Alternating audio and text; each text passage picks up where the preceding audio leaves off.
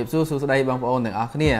មកជួបគ្នានៅក្នុងវីដេអូនេះគឺខ្ញុំបង្ហាញបងប្អូនតាក់ទងជាមួយនឹង Unify បាទ Wi-Fi access point Unify ដែលបងប្អូនមានតម្រូវការប្រើប្រាស់កន្លងមកហើយជាងជាងមួយចំនួនឬក៏អ្នកលក់មួយចំនួនដែលបងប្អូនអត់ដែល set up ណាឬក៏មិនទាន់ដែលប្រើប្រាស់ឬក៏ចង់ចេះចង់ដឹងថា set up ធ្វើម៉េចស្រួលព្រោះអីឬថា set up Unify access point ហ្នឹងត្រូវការកុំព្យូទ័រត្រូវការ download software អញ្ចឹងមានភាពស្មុគស្មាញអត់ដូច router ឬក៏ access point ផ្សេងៗដែលមានភាពងាយស្រួលជាងទេតាមពិត Unify នេះក៏វាមានភាពងាយស្រួលដែរបាទងាយស្រួលច្រើនដែរអញ្ចឹងខ្ញុំបង្ហាញបងប្អូនដើម្បីឲ្យបញ្ហាដែលថាបងប្អូនគិតថាពិបាកហ្នឹងឲ្យទៅជាមានភាពងាយស្រួលនៅក្នុងវីដេអូនេះតែម្ដងដោយយើង set up Unify ជាមួយនឹងទូរស័ព្ទបាទមិនបាច់ប្រើកុំព្យូទ័រទេប្រើតែទូរស័ព្ទទេអញ្ចឹងបងប្អូនទៅជួប Unify ត្រូវការ set up ឬក៏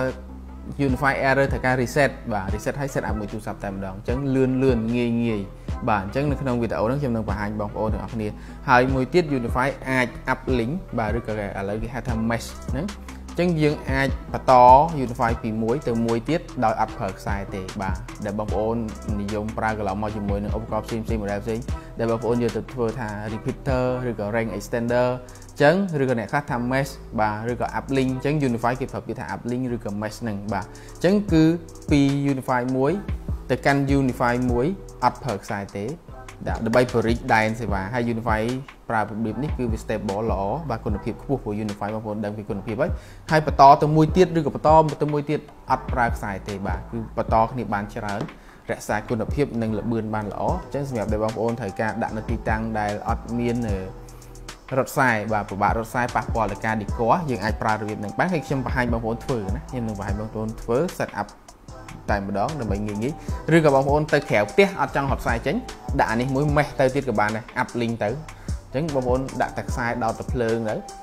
ចប់អត់ចាំបាច់រត់ខ្សែពី switch ឬក៏ពី unify ផ្សេងណាទៅទេណាបន្តនេះគឺយើងដាក់នឹងក្រៅផ្ទះបាន outdoor ត្រូវទឹកភ្លៀងត្រូវអីបានបាទថ្ងៃអីមកទំហឹងអញ្ចឹង ងាយស្រួលសម្រាប់បងប្អូនចង់ប្រើបែបហ្នឹងប្រើ Unify ទៅអញ្ចឹងកុំឲ្យខាតពេលខ្ញុំបង្ហាញបងប្អូនតែម្ដងអញ្ចឹងនៅក្នុង Unify គឺក្នុងប្រអប់វាមានហើយ Unify នៅខាងមុខខ្ញុំនេះគឺសិស្ស Emerald ដែលមានការពេញនិយមនឹងប្រើប្រាស់ហើយមាន AC Live ប្រភេទសេរីថ្មីអស់ណាបងប្អូនគឺវាអត់មានដូចមុនដែលយើងប្រើប្រភេទ AP ទេ បាទពីមុនគឺយើងប្រើតែ2.4 GHz ទេឥឡូវគឺមានដល់ dual band គឺ2.4 GHz 5.0 GHz អញ្ចឹងនៅលើឧបករណ៍ Unify ខាងមុខខ្ញុំនេះមាន AC Live AC LR AC Pro និង AC Mesh ឬក៏ហៅថា ACM ប្រភេទ outdoor បាទអញ្ចឹងគឺតាម spec របស់ Unify បងប្អូនធ្លាប់ប្រើហើយអញ្ចឹងប្រភេទនេះវារៀងបាន range រៀងផ្សាយរៀងចិត្តបាទ user បានតិចជាងបាទ ហើយ ACLR នេះ range វាបានរៀងឆ្ងាយជាងគេបាទដើម្បីផ្សាយសេវាបានឆ្ងាយជាងគេហើយបាន user ច្រើនគួរសមចំណែក AC Pro នេះគឺល្បឿនលឿនបាទ speed ខ្លាំងជាងគេហើយវា connect user បានច្រើនបាទ AC Pro អញ្ចឹងសម្រាប់ដែលយើងប្រើ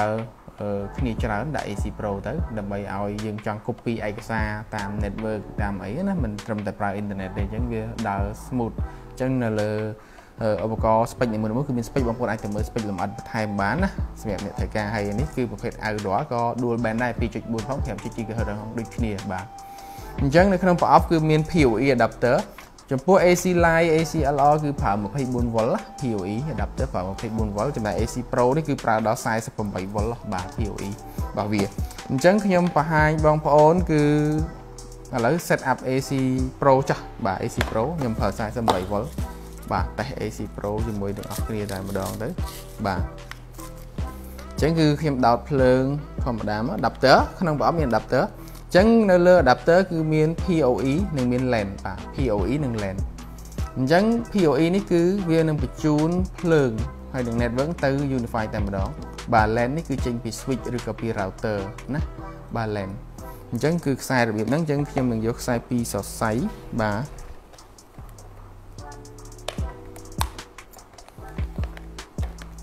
អញ្ចឹងខ្ញុំនឹងភ្ជាប់នៅទីនេះនៅក្បែរខ្ញុំនេះគឺខ្ញុំមាន Wi-Fi មួយណាកាមេរ៉ាចាប់បានខ្ញុំមាន Magnetic router ខ្ញុំយកវាមកធ្វើជា router មេចាស់ណាបាទអញ្ចឹងគឺខ្ញុំមាន Magnetic router នឹងមួយអញ្ចឹងខ្ញុំនឹងដោតខ្សែឧទាហរណ៍បងប្អូននៅកន្លែងហ្នឹងគឺបងប្អូនមាន TP-Link ឬក៏មាន Wi-Fi ផ្សេងឬក៏មាន MikroTik ណាដែលជា router internet មេណាឧទាហរណ៍ថានេះជា router internet មេអញ្ចឹងយើងដោតចេញពី LAN ហ្នឹងមកកាន់បាទ LAN នេះបាទអញ្ចឹងឬក៏ចេញពី switch ណាចេញពី switch មកដោតខ្សែមកចូលមកហើយ port មួយទៀតគឺ PoE នេះបាទ PoE នេះគឺដោតចូលទៅឧបករណ៍ណានេះខ្សែបាទដោតចូលទៅឧបករណ៍អូខេ ដាក់ចូលមកឧបករណ៍តែម្ដងអញ្ចឹង AC Pro នេះគឺអាចដាក់នៅខាងក្រៅបានវា outdoor បានដែរប៉ុន្តែក្នុង switch ប៉ុន្តែมันមានការប្រើប្រាស់ទេអឺយើងមិនត្រូវដាក់មិនមិនសូវជាមានអ្នកដាក់អី outdoor ទីច្រើនគេប្រើតែ indoor ទេបាទព្រោះឲ្យវាមានការពីទឹកមានអីណាបាទហើយនៅលើ AC Pro នេះគឺមាន port 2មាន main និងមាន secondary បាទ អញ្ចឹង A មានតែ model AC Pro ទេ AC LR AC Line គឺអត់មានទេណាមានតែ AC Pro នេះទេអញ្ចឹង main នេះគឺយើងចូលបាទយើងចូលមកពីដុំ PoE ចូលមកបាទហើយយើងអាចបន្តបានអញ្ចឹងមានន័យថាយើងអាចបន្តខ្សែពី AC Pro ហ្នឹងទៅបន្តទៀតឬក៏យក AC Pro ហ្នឹងបន្តចូលទៅ switch ឬក៏ទៅអីបែក network បានទៀតណាអាហ្នឹងវាបន្តទៀតវាមាន secondary ទៅទៀត អញ្ចឹងពេលយើងដោតមក AC Pro នឹងឡើងភ្លើងពណ៌សបាទភ្លើងពណ៌សបាទអញ្ចឹងវាមានភ្លើងចាំបន្តិចទៅអញ្ចឹងខ្ញុំដោតយើងដោតខ្សែហើយហើយណាអូខេដោតខ្សែលើ AC Pro ហើយអញ្ចឹងមកលើ software វិញមកលើ software វិញគឺខ្ញុំបង្ហាញបងប្អូនតម្លើងកម្មវិធីបាទទាញទូរស័ព្ទបងប្អូនមកតម្លើងកម្មវិធីនេះ Unify Network បាទ Unify Network បាទនេះ Unify Network តម្លើងខ្ញុំសិស្សខ្ញុំតម្លើងរួចហើយណាបាទអញ្ចឹងបើក Unify Network នឹងមកប៉ុន្តែមុននឹង set up បងប្អូនចូលមកក្នុង setting Wi-Fi នេះសិនណាចូលមក Wi-Fi គឺបងប្អូនត្រូវ connect ទូរស័ព្ទនេះ connect មកកាន់ router Wi-Fi បងប្អូនត្រូវយកទូរស័ព្ទនេះភ្ជាប់ធ្វើម៉េចឲ្យវា local ណា range មួយគ្នា ចឹងឧទាហរណ៍ថាយើងយក Unify នេះបំបែកពីបំបែកពីដុំអ៊ីនធឺណិតមេណាចឹងឧទាហរណ៍យើងបំបែកមកចឹងអឺ Megatic នេះជា Wi-Fi មេខ្ញុំដាក់ឈ្មោះថា Megatic Wi-Fi ចឹងខ្ញុំ connect មកកាន់ Micro Wi-Fi Megatic ហ្នឹងសិនណាខ្ញុំ connect មកកាន់សិនណាខ្ញុំដាក់ password អូខេបាទអញ្ចឹងខ្ញុំ connect មកហើយអឺ Unify នេះគឺវា connect តាមខ្សែ network ចេញពី Megatic យ៉ាងដែរអញ្ចឹងមានន័យថាវានៅក្នុង ring មួយគ្នាហើយបាទ អញ្ចឹង connect ហើយអញ្ចឹងខ្ញុំបើក Unify Network Unify Network ខ្ញុំបើក software មកគ្រាន់តែបើកមក scan ឃើញតែម្ដងបាទបើកកម្មវិធីមកគឺ scan ឃើញតែម្ដងអញ្ចឹង scan ឃើញវាដាក់ pending adoption អញ្ចឹងយើងចុចលើនឹងមកអញ្ចឹងវានឹងចាប់ផ្ដើម connect នេះ connect បើសិនណាជាវាអត់មាន load pending adoption ហ្នឹងទេបងប្អូនត្រូវ reset វាណាចាំខ្ញុំប្រាប់ reset តាមក្រោយ អញ្ចឹងយើងចុចដាក់ឈ្មោះ device name អីយើងមិនបាច់ដូរក៏បានដែរចុច next ទៅណា next ទៅហើយកន្លែងនេះគឺ Wi-Fi setup អញ្ចឹងយើងអាចកំណត់ឈ្មោះ Wi-Fi ឈ្មោះអីណាអញ្ចឹងខ្ញុំដាក់ថា AC Pro ចាស់ខ្ញុំដាក់ AC Pro AC Pro បាទ AC Pro ខ្ញុំដាក់ password 1.9ណាអូខេ1.9នៅខាងក្រោមនេះមាន option ទៀតណា advanced option បាទ advanced option នេះវាឲ្យយើង separate 2.4G ហើយនឹង 5.G network បាទអញ្ចឹងបើយើងបើកវាអញ្ចឹងវានឹងឲ្យយើងកំណត់ឈ្មោះណាថានេះ 5G GHz ឈ្មោះអី2.4 GHz ឈ្មោះអីបាទអាហ្នឹងគឺយើងបែកដើម្បីឲ្យ device ណាដែលចាប់ Wi-Fi 5G ទៅបានលឿនលឿនជាងលើ device 2.4G បាទ 2G អញ្ចឹងបើយើងអត់បែកជាងទេបាទអត់បែកឈ្មោះទេយើងបិទវាធម្មតា default អញ្ចឹងគឺវានឹងប្រើឈ្មោះតែមួយទេអញ្ចឹងវាស្វ័យប្រវត្តិបើសិនណាជាពេលដែលបងប្អូននៅរៀងគៀកចម្ងាយមិនសូវឆ្ងាយវានឹងចាប់5.0 GHz តែបើមកទៅរៀងឆ្ងាយពី Wi-Fi ទៅវានឹងធ្លាក់មកចាប់2.4 GHz ដែល speed វារៀងថយចុះបាទព្រោះអី Wi-Fi 5.0 GHz វាផ្សាយចម្ងាយបានចិត្តជាង2.4បាទ2.4បានឆ្ងាយជាងប៉ុន្តែល្បឿនយឺតជាងបាទហ្នឹងគឺបច្ចេកទេសណាអញ្ចឹងយើងបំបែក មិនបាច់មិនបាច់បំបែកទេគឺវាឲ្យវាស្វ័យប្រវត្តិបែបហ្នឹងទៅអញ្ចឹងយើងចុច finish បាទអញ្ចឹងចុច finish យើងត្រូវរងចាំវាដាក់ថានេះចាំប្រហែលជា2នាទីឬក៏លឿនជាងហ្នឹងអញ្ចឹងវានឹងចាប់ផ្ដើម set up Unify AC Pro ហ្នឹងតិចទៀតគឺ Wi-Fi ហើយណា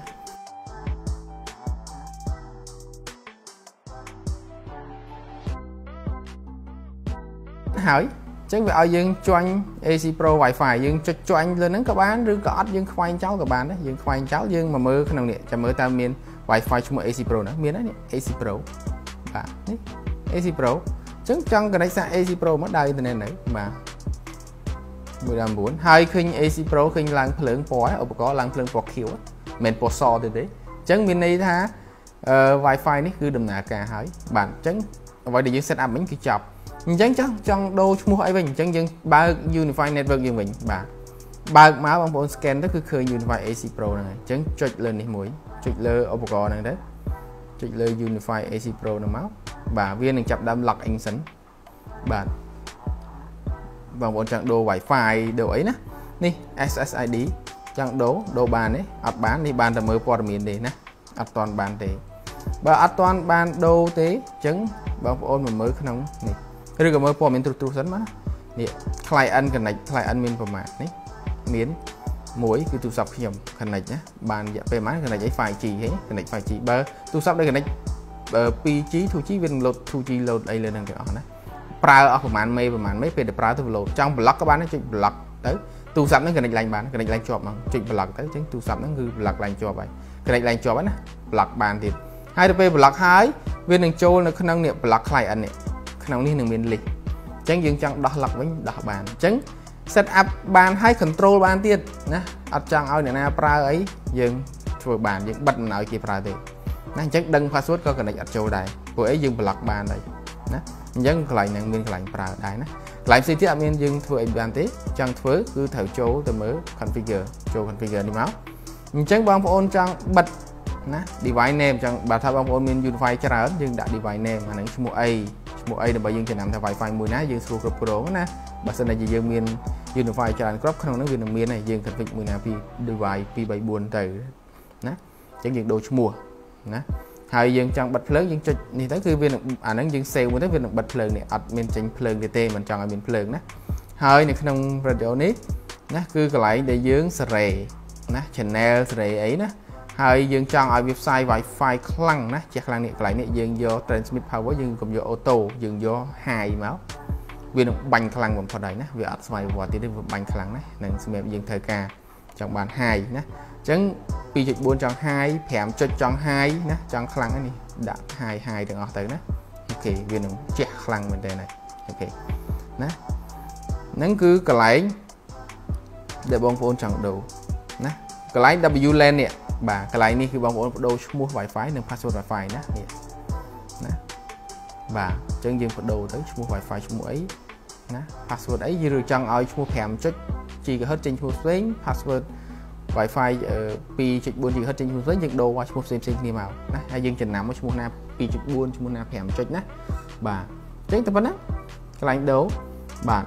ហើយកន្លែងនេះមានកន្លែង upgrade version ទៀតចុចទៅវានឹង auto update version ហើយ បាទហើយយើងធ្វើអីហើយយើងចុច save យើងចង់ reset ចោលចុចទៅ reset ទៅបាទហើយខ្ញុំសូមបញ្ជាក់កន្លែងនេះបន្តិចណា device credital នេះបាទអញ្ចឹងគឺកន្លែងនេះគឺវាមាន password generate មួយនេះ password ឡើងស្មុគស្មាញអញ្ចឹងបងប្អូនបដូរ password ហ្នឹងមកអញ្ចឹងពេលដែលបងប្អូនបដូរ password ហ្នឹងពេលដែលបងប្អូនយកទូរស័ព្ទផ្សេងឥឡូវទីហៅទូរស័ព្ទហ្នឹងគ្រប់គ្រង Unify ហ្នឹងបងប្អូនចង់យកទូរស័ព្ទផ្សេងគ្រប់គ្រង Unify ហ្នឹងដែរ បងប្អូនដឹង password នេះបងប្អូននឹងគ្រប់គ្រងបានណាកន្លែងហ្នឹងអញ្ចឹងយើងដូរ password ណាមួយที่យើងចាំទៅណាថា device ហ្នឹងគឺមាន password admin ជា username admin password នេះណាអាហ្នឹងគឺដូចយើង change password device password admin របស់ device អញ្ចឹងចំណុចកន្លែងហ្នឹងអញ្ចឹងបងប្អូនដែលមានបទពិសោធន៍ set up unify ហ្នឹងគឺចំណុចហ្នឹងឯងណាអូខេអញ្ចឹងខ្ញុំអត់ទាន់ធ្វើអីទេនៅលើនេះខ្ញុំ cancel អូខេ អញ្ចឹងខ្ញុំបង្ហាញ setting តែប៉ុណ្ណេះបងប្អូន set up បានហើយ unify បាទតែប៉ុណ្្នឹងឯងទេងាយស្រួលបើក unify មក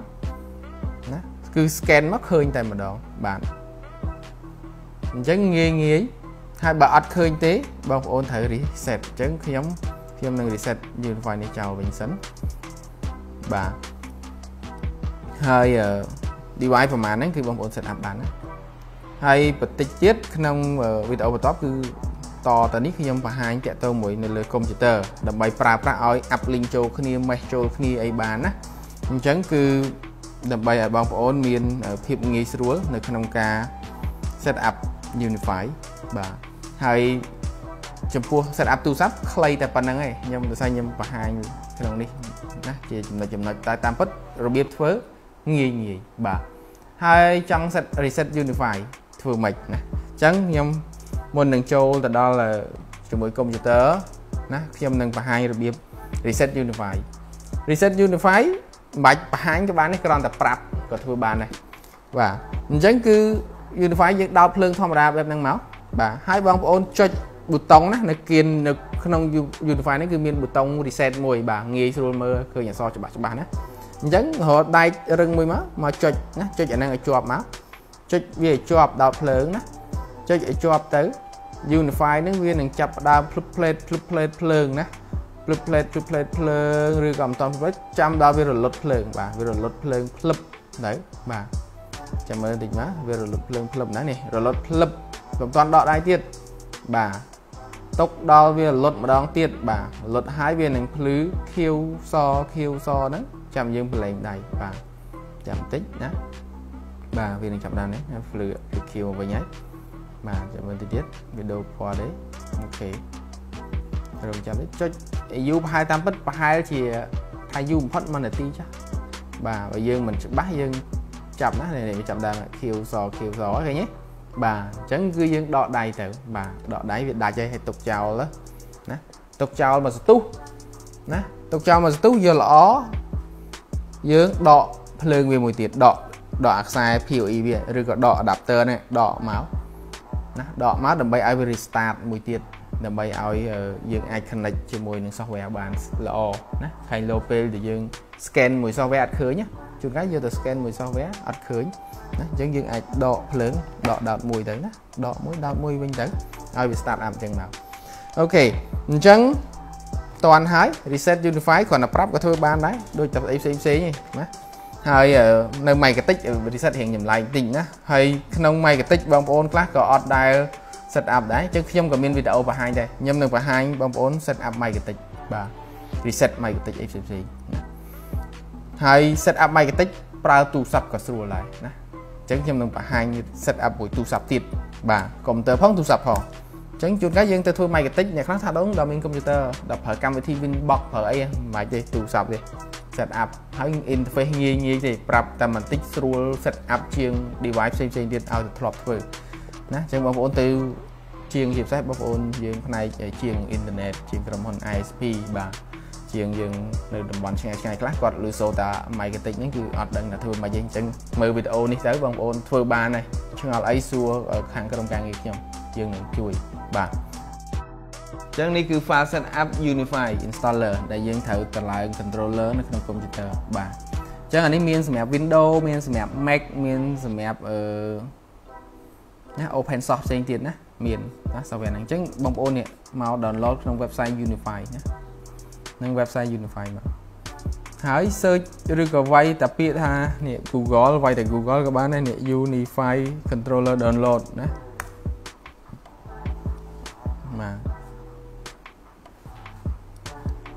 បើតែ UniFi controller download ណាចូលទៅក្នុងនឹងមកណាអូខេហើយមួយទៀតបើសិនណាជាបងប្អូនចង់បាន UniFi account បងប្អូនចូលទៅក្នុង UniFi ហ្នឹង ui.com នឹងដូចគ្នាបង្កើត account Unify ទៀតក៏បានដែរណាអូខេអញ្ចឹងខ្ញុំ download មកបានហើយ Unify controller ណាបងប្អូនអាច search download ទៅហើយបើអ្នកអត់ដឹងទៀតណា chat មកខ្ញុំផ្ញើ link ឲ្យណាអូខេអញ្ចឹងខ្ញុំ set up Unify controller មួយសិនណា file set up ណាបើក file ឡើងមក next install បាទ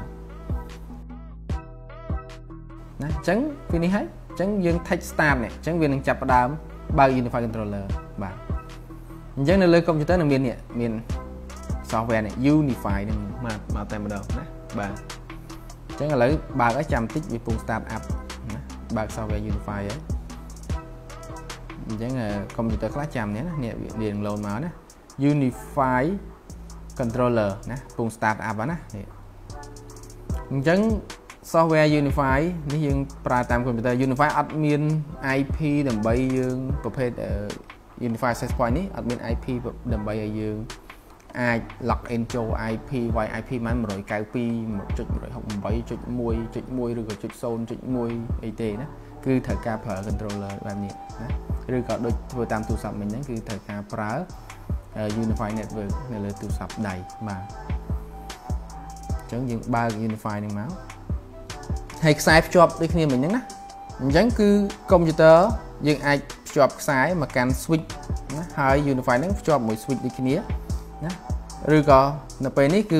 នេះអាអា Magnetic ខ្ញុំនេះវាមាន Wi-Fi អញ្ចឹងកុំព្យូទ័រខ្ញុំហ្នឹង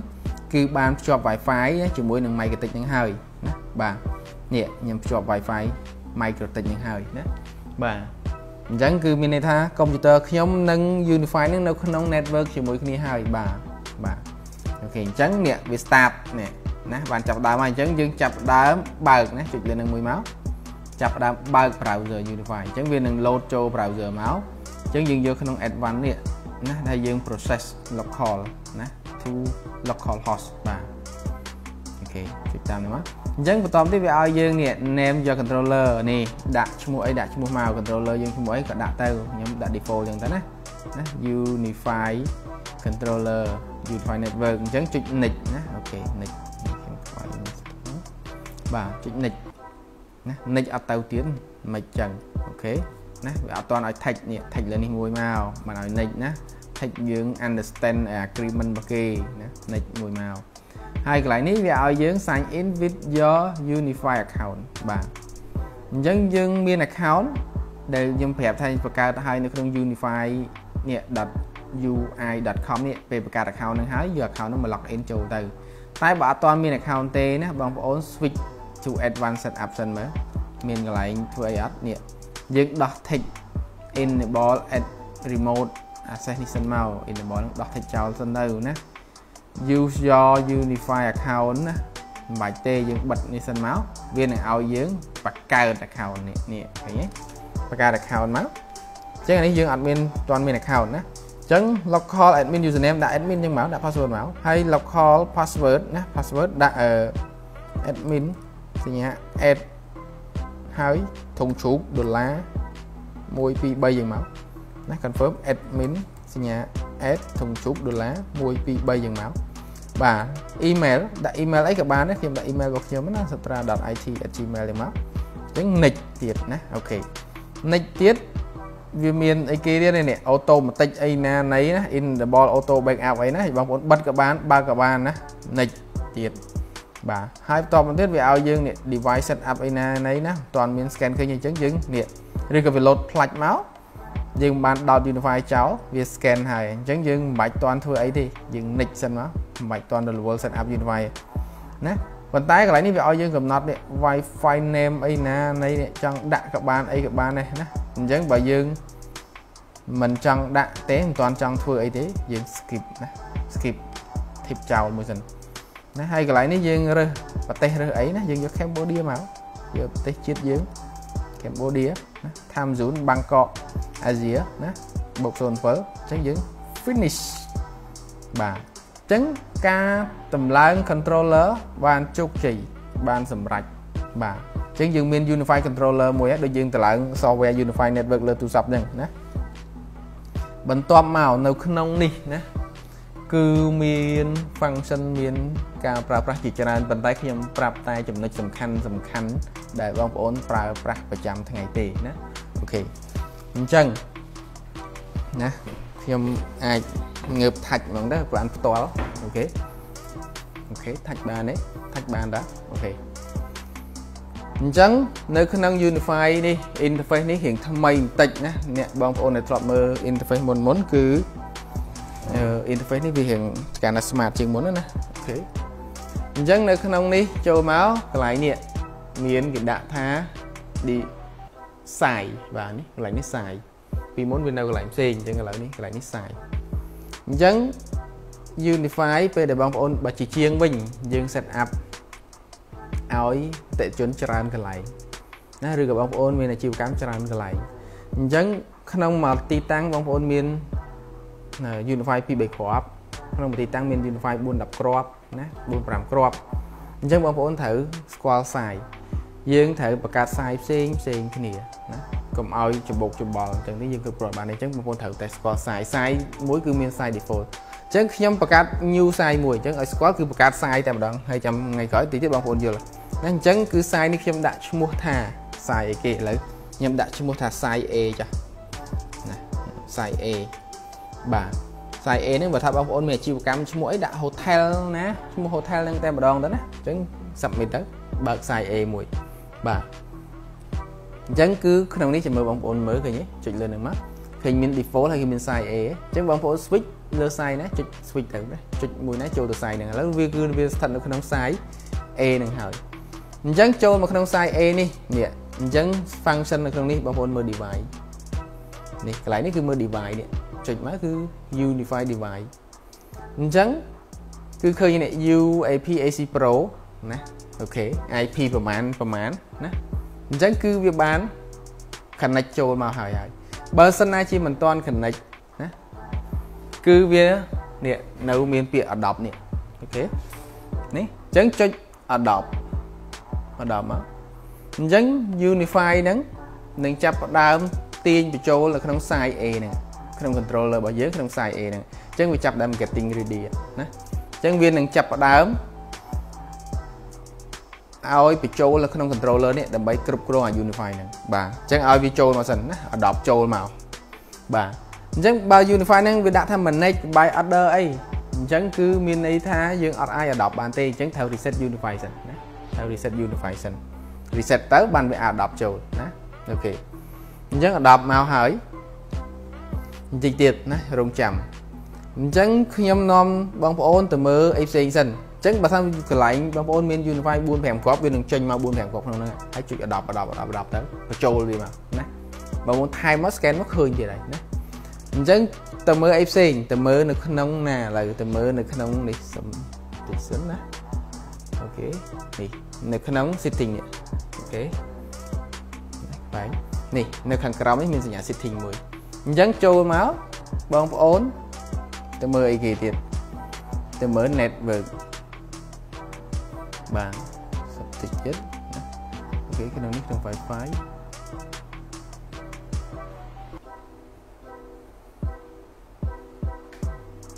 បាទអញ្ចឹងគឺបងប្អូនចូលក្នុង Wi-Fi នឹងមកណាចូលមក add new Wi-Fi network នេះណា add new Wi-Fi network អញ្ចឹងកន្លែងនេះហើយគឺកន្លែងដែលបងប្អូនចង់កំណត់ Wi-Fi ឈ្មោះអី password អីគេណាកន្លែងនេះកន្លែងកំណត់ណាអញ្ចឹងគឺ setting Wi-Fi ណាហើយចូល add new Wi-Fi network មើលមិញណាអញ្ចឹងដាក់ឈ្មោះមកបងប្អូនចង់បាន Wi-Fi ឈ្មោះអីគេណាដាក់ឈ្មោះថា AC Pro បាទ AC Pro Wi-Fi យើងមកបាទណា password ណាបងប្អូនចង់ដាក់ password អីដាក់មកណា1ដល់9ទៅបាទអូខេ ខ្ញុំដាក់1ដល់9ណាអូខេបាទអញ្ចឹង add Wi-Fi network បាទអញ្ចឹងនេះអញ្ចឹងខ្សែនេះណាសម្រាប់ខ្សែខ្សែខ្សែ A ហ្នឹងគឺមាន Wi-Fi network ឈ្មោះ AC Pro Wi-Fi អាឈ្មោះហ្នឹង password ហ្នឹងវានឹងបញ្ជូនមកក្នុង device នេះ device ដែល adopt ហ្នឹងណាបាទចំណុចនេះមួយទៀតវានឹងមានកន្លែងតាក់ទងទៅដល់ពេលដែលបងប្អូនចង់អីគេ ចង់ចែក speed ណាមានប្រើកន្លែងយ៉ាងដែរចង់កំណត់ speed អញ្ចឹងឧទាហរណ៍បងប្អូនប្រើ Unify មួយគានឹង4 10 device ឬក៏ប្រើតែមួយក៏ដោយឬក៏ប្រើច្រើនក៏ដោយបងប្អូនចង់ឲ្យ Wi-Fi នៅក្នុងអាគារកន្លែងអាជីវកម្មឬក៏អាគាររបស់បងប្អូនហ្នឹងមាន Wi-Fi ឈ្មោះ3បាទឈ្មោះ3ណាឬក៏ឈ្មោះ2ហើយមាន password ផ្សេងគ្នា មានល្បឿន speed ផ្សេងគ្នា អញ្ចឹងភ្ញៀវឬក៏អ្នកប្រើប្រាស់ connect តែឈ្មោះ A password ផ្សេង connect ទៅបានល្បឿនផ្សេងអ្នកដែលដឹង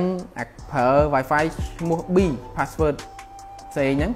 នឹងបាន speed ផ្សេងអញ្ចឹងហ្នឹងគឺកន្លែងកំណត់ speed ណាអញ្ចឹងយើងអាចចែកសម្រាប់ភ្ញៀវទៅភ្ញៀវ VIP ឲ្យប្រើ VIP ទៅណាបុគ្គលិកឲ្យប្រើ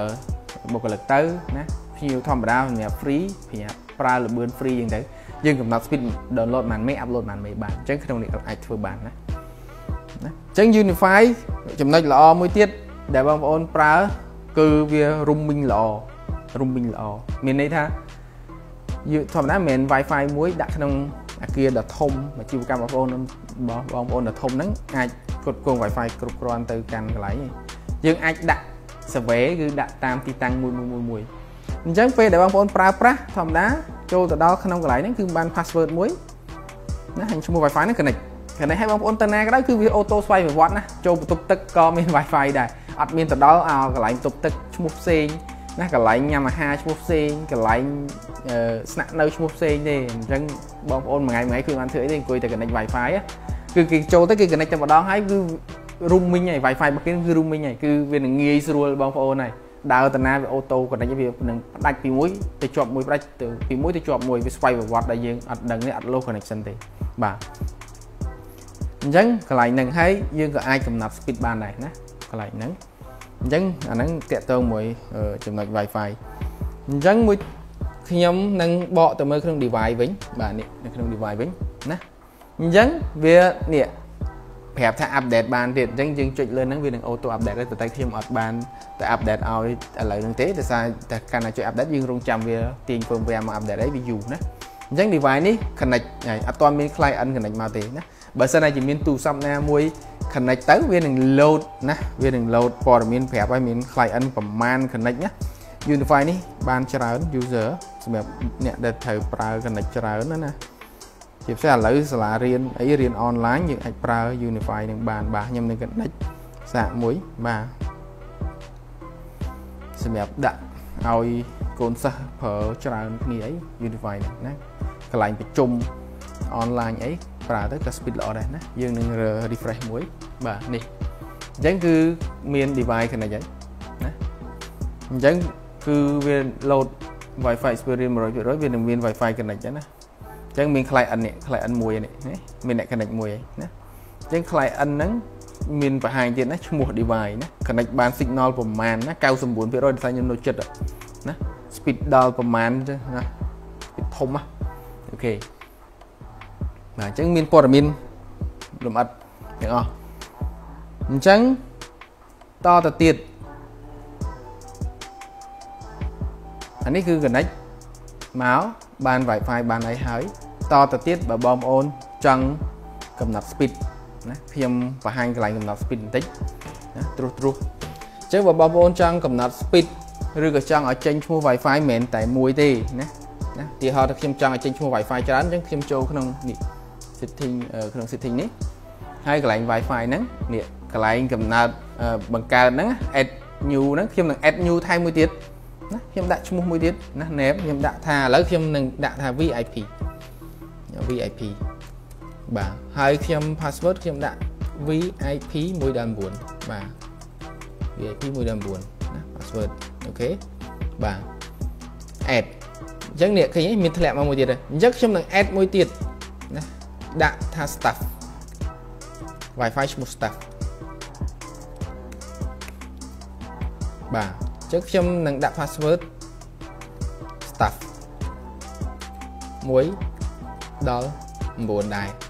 បាទបាទអញ្ចឹង Wi-Fi staff ហើយនឹង VIP អូខេហើយអញ្ចឹងនេះបងប្អូនមើលបញ្ជាក់ណាគ្រឿងគឺ scan មកឃើញណាឃើញមាន staff មាន VIP បាទអញ្ចឹងឈ្មោះផ្សេងផ្សេងគ្នាអញ្ចឹងយើងនឹងអឺមាន speed ផ្សេងផ្សេងគ្នានៅពេលបន្តិចទៀតអញ្ចឹងមានន័យថា unify នៅក្នុង controller នេះវានឹងនេះផ្សាយឈ្មោះ3ហ្នឹង password 3ហ្នឹងអញ្ចឹងទៅគ្រប់ទីកន្លែងគឺឃើញមកណាអញ្ចឹងបងប្អូនចង់ដាក់ multi SSID ហ្នឹងណាគឺយើងប្រើរបៀបហ្នឹងឯងគឺបង្កើតនៅក្នុងហ្នឹងអញ្ចឹង device ដែលក្នុង site ហ្នឹងនឹងបានឈ្មោះនិង password ហ្នឹងទៅតែម្ដងបាទ device នៅក្នុង site ហ្នឹងហើយតកតងមួយ speed មួយ speed គឺយើងចូលមកមើលនៅក្នុង advanced feature នេះវិញបាទនៅក្នុង advanced feature គឺមានកន្លែងមួយគឺមានដាក់ថា bandwidth profile វាមាន default unlimited unlimited ណាអញ្ចឹងយើងបង្កើត add bandwidth profile ណាបង្កើតមកដាក់ថា name name អីគេ name ដែលថាជាហៅថា VIP យើងឲ្យ unlimited ឬក៏ VIP 10មេអញ្ចឹងទៅ10មេអញ្ចឹងយើងដាក់ឈ្មោះមកហើយ speed ប្រមាណណា speed យើងអាចកំណត់បាននេះមេអញ្ចឹងយើងដាក់ថា speed 10មេ upload 10មេដែរយើងកំណត់ speed ណាជាមេ kbit per second បាទអូខេអញ្ចឹងយើង apply អញ្ចឹង VIP អញ្ចឹង bandwidth profile មាន10មេអ staff ប្រមាណយើងយើងអាចដាក់ថា staff បាទ បាទ STA staff បាទ staff ប្រហែលមេដាក់ថា staff 5មេអញ្ចឹងទៅអញ្ចឹងបងប្អូនកំណត់មកប្រហែលមេណានេះ5មេណា upload 5មេ download 5មេឬក៏ប្រហែលមេស្រាប់តែបងប្អូនប្រើត្រូវការទេណាអូខេណា apply អញ្ចឹងក្នុងនេះអញ្ចឹងបងប្អូនបង្កើតទៅណាបង្កើតទៅនៅក្នុង bandwidth profile ហ្នឹងបង្កើតមកបន្ទាប់ពីបង្កើតហើយបងប្អូនចូលទៅក្នុង Wi-Fi នឹងវិញបាទចូលទៅក្នុង Wi-Fi វិញហើយឈ្មោះ ណាឈ្មោះ VIP ដែលយើងបង្កើតមិញ Wi-Fi ឈ្មោះ VIP password យើងមើលក្នុង advanced អញ្ចឹងក្នុង advanced ហ្នឹងគឺមានកន្លែងមួយគឺគឺនឹងឲ្យយើងរើសរើសអីគេរើស bandwidth profile តែម្ដងបាទនេះនេះខាងក្រោមអញ្ចឹងបើកាលណាឈ្មោះហ្នឹងឈ្មោះ SSID មិញហ្នឹង bandwidth profile default default គឺ unlimited មិញណាបាទអញ្ចឹងយក VIP មកអញ្ចឹងហើយយើង apply មកបាទអញ្ចឹង VIP នឹងបាន speed VIP 10មេបាទ staff នេះយើងក្នុង advanced ហ្នឹងអញ្ចឹងគឺយើងរើសយក bandwidth profile តំណាយមិញទៅពេលគៀកនេះ bandwidth profile កុំ default ទៀតបើកាលណា default គឺ unlimited មិញណា default គឺ unlimited អញ្ចឹងយក5មេហើយ apply ទៅបាទអញ្ចឹងតែប៉ុណ្្នឹងទេកន្លែងកំណត់ speed របស់ Unify អញ្ចឹងនៅក្នុងអាគារទាំងមូលហ្នឹង Unify យើងបាន mesh បានសំដៅបាន roaming ហើយ អញ្ចឹងគឺទៅកន្លែងណាក៏មាន Wi-Fi ឈ្មោះ3ហ្នឹងហើយលបឿនផ្សេងគ្នា password ផ្សេងគ្នាអញ្ចឹងនេះគឺរបៀប set up Unify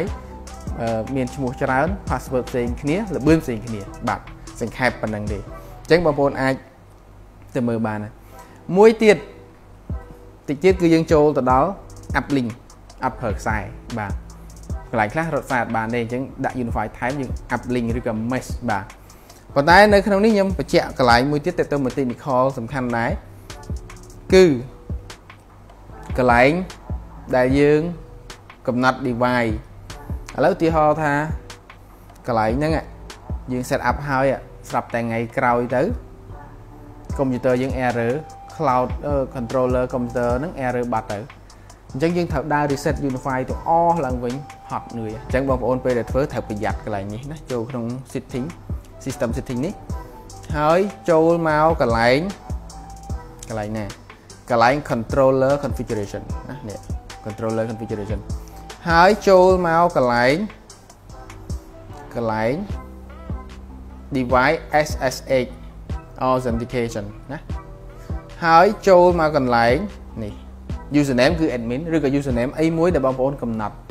អញ្ចឹងបើបងប្អូនកំណត់កន្លែងនេះហើយមាន device នៅក្នុង ខ្សែមួយហ្នឹង device មាន unify ទាំងអស់និងមាន username device មានអានេះ user password device ណា user password admin device ណានេះអញ្ចឹង password នេះគឺ generate ទេអញ្ចឹងយើងដាក់ខ្លួនឯងមកដាក់ password អីក៏ដោយដាក់មកណាដាក់ហើយកំណត់ឲ្យចាំខ្លួនឯងថា password device unify ឲ្យតែយើងអ្នកធ្វើគឺណា password ហ្នឹង username អញ្ចឹងពេលដែលបងប្អូនខូច controller បងប្អូនមិនបាច់ទៅ reset unify ទេដើរ reset hot ណាច្រើនគ្រាប់100គ្រាប់អីទៅអញ្ចឹងបងប្អូនគ្រាន់តែ connect SSH ហ្នឹងមកវានឹងអាចមានសិទ្ធ adopt unify ចូល controller ថ្មីបានណាអញ្ចឹងកន្លែងហ្នឹង technical មួយណាជំរាបបងប្អូនមួយទៀតពេលដែលធ្វើការងារចប់បងប្អូនកុំឲ្យច្បុកច្បល់ណាចាប់ដើមពីដើមទីហើយគឺគ្រប់គ្រងឲ្យស្រួល បងប្អូនធ្វើការទៅដល់គឺយើងអ្នកបច្ចេកទេសយើងតម្លើងកុំព្យូទ័ររបស់យើងយើង set up ហើយអស់ហើយជាមួយ site អីហ្នឹងអញ្ចឹងពេលដែលចាប់ការងារ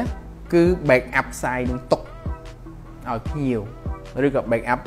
ទុកកន្លែងសុវត្ថិភាពដើម្បីពេលដែលគេបដូរកុំព្យូទ័រគេតម្លើងកុំព្យូទ័រហើយគេឲ្យយើងដាក់ controller ឲ្យគេយើងយក site នេះទៅ restore ចូលចប់ការងារអាហ្នឹងមានន័យថាយើងធ្វើការងារមានវិជ្ជាជីវៈឲ្យគេហើយណា អូខេអញ្ចឹងគឺនៅក្នុង site ហ្នឹងយើងចូល site ហ្នឹងពេលយើងចាប់ការងារយើងមករមើលរមើលកន្លែងណាអញ្ចឹងដោយសារ interface នេះ interface ថ្មីអញ្ចឹងមួយទៀតខ្ញុំមុននឹងបែរ app site គឺទៅមើល interface សេរី classic ទៅយើងស្រួលមើលជាងបាទអញ្ចឹងចុចលើ classic setting នេះមកអញ្ចឹងវានឹងចូលទៅណាទៅដល់ណាវិញមើល switch classic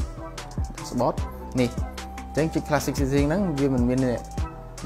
new user interface អញ្ចឹងយើងបិទមកបាទ យើងបិទ deactivate អញ្ចឹងគឺវានឹង switch ទៅ classic អញ្ចឹងនេះបងប្អូនមើល interface classic នេះតែវាស្រួលមើលស្រួលធ្វើជាងណាអញ្ចឹងមាន device មានអីដូចគ្នាអញ្ចឹងគ្រាន់តែវាងាយស្រួលមើលជាងបាទបាទអូខេហើយអញ្ចឹងតាក់ទងមួយ site បាទចូលមកមើល site នេះក្នុង setting នេះ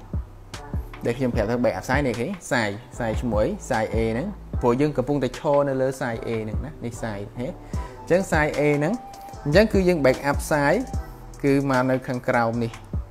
បាទអញ្ចឹងគឺបងប្អូនអាច backup តាមរយៈ export file ណានេះ export file អញ្ចឹងពេលយើងចាប់កិច្ចការយើង download file ហ្នឹងយកទៅទុកទៅណាទុក file ហ្នឹងហើយយើងរក្សាទុកទៅសម្រាប់ពេលដែលយើងនេះយើងអាច import ចូលទៅលើ computer ពេលដែលតម្លើង software ណាឲ្យភ្ញៀវវិញបាទអញ្ចឹងកន្លែងហ្នឹងហើយមួយទៀតអញ្ចឹងយើងបន្តទៅមុខទៀតបាទបន្តទៅណាទៀត បន្តទៅរឿងអឺ app link Unify app link អញ្ចឹងក្នុង feature នេះគឺត្រួសត្រាសហ្នឹងគឺខ្ញុំបង្ហាញបងប្អូនហើយអញ្ចឹងគឺយើងបន្តមកទៀតគឺចង់ app link ណា app link ពី Unify មួយទៅ Unify មួយដោយមិនប្រើខ្សែណាអញ្ចឹងយើងមកមើលក្នុង device ដដែលហើយចូលមក device បាទ device នេះចង់មើលរបៀបម៉េចក៏បានអូខេមកខ្វែងណា ជា list វិញមក view ជា list ណាយើង view style អីក៏បានដែរណាអញ្ចឹងឥឡូវ AC Pro នេះ connect អញ្ចឹងខ្ញុំនឹងតេស្ត AC line មួយណាអញ្ចឹង adapter AC line នេះខ្ញុំដោតតែខ្សែ PoE ទេបាទខ្ញុំដោតតែខ្សែ PoE ទេអត់មានបានដោតខ្សែចូលមួយ switch ទេណាដោតតែ PoE ទេអញ្ចឹងយើងដោតតែ PoE បាទដល់តែ PoE ទេព្រោះយើងអត់បានបន្តខ្សែមួយ switch គេទេយើង up link វាបាទអូខេនេះស៊ីឡាហើយ Unify វាមានជើងសម្រាប់ចាប់ពីដានបាទបងប្អូនដែលប្រើ Unify មានជើងសម្រាប់ចាប់ពីដានអូខេណា Unify ចាប់ពីដានយ៉ាងទៅស្អាតណាជើងវាអូខេអញ្ចឹងវាមានភ្លើងហើយចាំបន្តិចណា អញ្ចឹងចាំបន្តិចចាំមើលតើយើង scan ទៅឃើញ unify មួយទៀតអត់ឃើញ unify មួយទៀតអត់អញ្ចឹងអ្វីដែលត្រូវធ្វើសម្រាប់ app link អញ្ចឹងគឺយើងមកមើល setting របស់យើងអញ្ចឹង setting របស់យើងចូលក្នុង wireless network បាទអឺទីហោះថាឈ្មោះ Wi-Fi យើងពេលហ្នឹងគឺយើងមានតែមួយទេណាគឺ Unify password ដែលថាយើងដាក់លើនេះយើងដាក់ច្រើនយើងដាក់3ចឹងតែយើង select តែមួយទេឬក៏បងប្អូនមានតែមួយទេចឹងយើង edit មក edit មកយើងមើលនៅក្នុង advanced នេះចូលមកកន្លែងបើក advanced នេះចឹងកន្លែងបើក advanced នេះបងប្អូនមកបើកកន្លែង also ណា refer to as p2p បាទនេះហើយ allow wireless station នេះអញ្ចឹង touch ពី option ហ្នឹងណាណា point to point p2p cross connect ណាពី option ហ្នឹងណាអញ្ចឹងចំណាំទៅ ពី option ហ្នឹងហើយយើង apply បាទបាទយើង apply save បាទអូខេណាជាពី option ហ្នឹងដើម្បីឲ្យយើងអាចធ្វើ up link បានល្អហើយមាន option អញ្ចឹងយើងចូលមកក្នុងនេះគឺ scan device គឺឃើញនេះអញ្ចឹង device នេះគឺយើងអត់មានបានដោត switch ចូលទេដោត network ចូលទេវាដាក់ថា wireless ឃើញទេ pending adopt អញ្ចឹងគឺយើងចុចលើនឹងមកដើម្បី adopt បញ្ចូលអញ្ចឹងយើងនឹងចាប់ផ្ដើម បញ្ចូល Unify ហ្នឹងមកក្នុង controller របស់យើងដោយ wireless uplink ជាមួយ AC Pro នេះអញ្ចឹងគឺវានឹងភ្ជាប់គ្នា mesh បាទឬក៏យើងហៅថា repeater ring extender អីណាណាដើម្បីបរិយាបាទអញ្ចឹង Unify វាដើរ smooth ល្អជាមួយ Unify អឺដូចគ្នានឹងឯងបាទអញ្ចឹងយើងអាច up link មកជាមួយអឺ AC M AC mesh នេះក៏បានដែរ outdoor បានណាបងប្អូនអត់ចង់រត់ផ្សាយពីក្នុងផ្ទះមកកញ្ចុះនៅក្រៅវិឡាឬក៏នៅក្រៅផ្ទះអីផ្ទះមួយទៀតអីយើងអាប់លីងមកបាទអញ្ចឹងគឺប្រើចេះចំណេញអត់អត់អត់មានការលំបាកសម្រាប់បងប្អូនរត់ផ្សាយបាទ Unify Unify អញ្ចឹងចាំបន្តិចវានឹង complete បាទយើងរងចាំបាទរងចាំសិនទៅទីទៀតវានឹង complete ដែរ complete វានឹង connected ណានេះវាបាន IP មួយដែរហើយ អញ្ចឹងចាំតិចទៀតវា complete អញ្ចឹងយើង scan វាមួយសិនមើលយើង refresh វាមួយសិនមើលបាទនេះអញ្ចឹងវាកំពុងតែ provisioning ហើយបាទអញ្ចឹងគឺវានឹងកំពុងតែទទួលអា configure ទទួលឈ្មោះ Wi-Fi password អីហ្នឹងអញ្ចឹងគឺវានឹងទទួលដដែលហើយបន្តិចទៀតយើងនឹងឃើញអឺ setting លម្អិតតិចទៀតតាក់ទងជាមួយនឹង app link ហ្នឹងណាខ្ញុំនឹងបង្ហាញបងប្អូនតិចទៀតដើម្បីឲ្យបងប្អូនដឹងថាអូ app link វាអាច select ពីណាមកណា អញ្ចឹងឧទាហរណ៍ Unify ទី1បាទទី1គឺខ្សែទី2អត់ខ្សែទី3អត់ខ្សែទៀតអញ្ចឹងអាទី3វាត្រូវ connect ពីអាទី2ណាឬក៏ទី4អត់ខ្សែដែរអញ្ចឹងវាត្រូវ connect បន្តពីណាទៅឬក៏ឲ្យវា connect មានអាកដាលមួយហ្នឹងគឺខ្សែហើយអាចជុំវិញសងខាងហ្នឹងអត់ខ្សែអញ្ចឹងឲ្យវា up link ចេញទៅណា mesh ចេញទៅអញ្ចឹងយើងកំណត់បានទាំងអស់ថាឲ្យវាចាប់ពីមួយណាមួយណាមួយណាណាជំរើសមួយណាមួយណា អញ្ចឹងគឺនៅក្នុងនេះគឺយើងអាចមកមើលនៅលើ device ហ្នឹងចុចលើ device ហ្នឹងមកហើយមកមើលនៅក្នុងនេះអានេះគឺជា overview ព័ត៌មានណាអញ្ចឹងគឺនេះគ្រាន់តែព័ត៌មានទេវា up link បាននៅវានៅទេវាកំពុងតែចាប់ទេអញ្ចឹងឬក៏យើងអាចមើលបាទហើយក្នុង Unify យើងក៏អាចកែដែរណាកែបានដូចគ្នានេះខ្ញុំបញ្ជាក់បន្តិចណាចុចលើ access point របស់យើងនេះអូខេតែបន្តិចវាកំពុងតែ check ហើយអូខេ បន្តិចទៀតនេះខ្ញុំបញ្ជាក់បងប្អូនណាក្នុងនេះគឺមាន device network បាទ device network គឺយើងអាចដាក់ឈ្មោះដាក់អីបានណា alias name នេះអញ្ចឹង Wi-Fi នេះឈ្មោះអីយើងដាក់ឈ្មោះមក alias name មកណាដើម្បីដឹងថា Wi-Fi ហ្នឹងមួយណាឈ្មោះអីណាហើយពេលដែលយើងចុចលាវទីហោះយើង connect Unify ចូលមកច្រើនក្របហើយមិនដឹងថាមួយណាទេ អញ្ចឹងក៏យើងអាចដឹងដែរគឺតាមរយៈយើងចុចលើពាក្យថា locate បាទចុច locate ទៅវានឹង load ភ្លើង flat flat ដើម្បីយើងតាមរក Unify ណាកន្លែងហ្នឹងក៏មានដែរហើយតាក់ទងជាមួយ config នេះគឺយើងអាចសេរីណានេះ transmit power នេះខ្លាំងខ្សោយអីណាអាចសេរីបានណា2.4 5ចុចអីណាគឺមានទាំងអស់តែម្ដងបាទបាទហើយយើង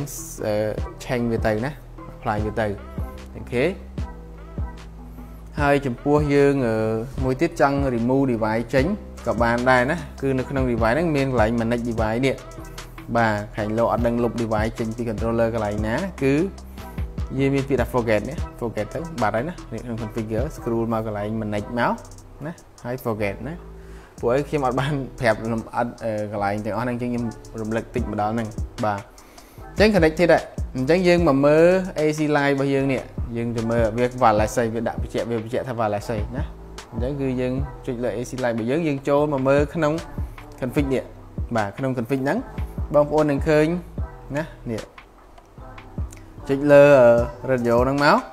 បងឃើញបងប្អូនឃើញ enable mesh ណា meshing នេះអញ្ចឹងបើយើងយក auto វានឹងស្វ័យប្រវត្តិតែបើយើងយក manual បាទ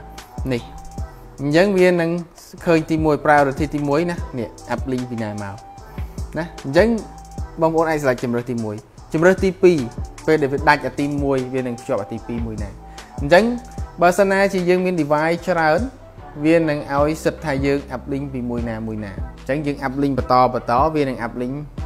តាមដែលយើង select លេខរៀងហ្នឹងណាអញ្ចឹងខ្ញុំគ្រាន់តែប្រាប់កន្លែងបងប្អូនពេលដែលតេស្តពេលដែលធ្វើ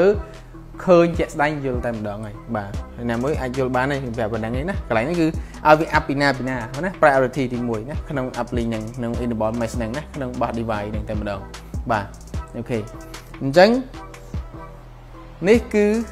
វាបាន violation នេះបញ្ជាក់ហើយណាអញ្ចឹងចូលទៅមើលកន្លែងនេះ dashboard សំដៅចូលមើលកន្លែង map នេះបាទណានេះវានឹងឃើញព័ត៌មានណា ចូលក្នុង map នឹងមកឃើញព័ត៌មានណាអញ្ចឹងគឺឃើញ Unify AC Pro នេះបាន mesh ទៅណាណានេះចុចលើហ្នឹងឃើញបិទបើកហើយបាន mesh មកឲ្យ AC Live បាន speed ប្រហែល360មេណា signal ប្រហែល99%ណាអាប់ link នេះពេលដែលឆ្ងាយទៅនៅតែត្រឹមតែប្រហែល20% 15%ក៏ដើរ speed អាចមកត្រឹមអ៊ីនធឺណិតបានរលូនដែរណាមក speed អ៊ីនធឺណិតបាទ អញ្ចឹងគឺដើរ smooth ល្អអញ្ចឹងណាចំណែក device នេះមកពីណាពីណាគេវានឹងចេញជា map ឲ្យបងប្អូនតែម្ដងណាចូលមើលទៅអូខេអញ្ចឹង app link យើងអឺ feature មានតែប៉ុណ្្នឹងឯងបាទ device អូខេអញ្ចឹងបងប្អូនដាក់ device មួយទៀតដើមមួយទៀតវានឹង online app link មួយទៀតហើយហើយយើងអាច select priority វាចូលអាទីមួយនេះ មក Pro ឬក៏ចង់បន្តទៀតអា device មួយផ្សេងទៀតបន្តពីនេះទៀតក្នុងកន្លែង mesh enable mesh priority របស់ device នឹងមិញនឹងឯងណាបងប្អូនមិញដូចជាតន់ខ្ញុំបង្ហាញហ្នឹងបងប្អូនមើលទៅពេលទៅធ្វើអនុវត្តអីសម្រាប់អ្នកអត់ដែលឬអ្នកដែលហើយមើលតែប៉ុណ្ណឹងក៏យល់ដែរបាទហើយមួយទៀតតកតទៅមួយ device ដែលខ្ញុំមិញខ្ញុំថាមាន locate បាទមាន locate device អញ្ចឹងឧទាហរណ៍ថា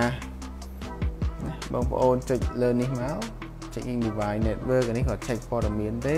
connected ចុចតិចចុចតិច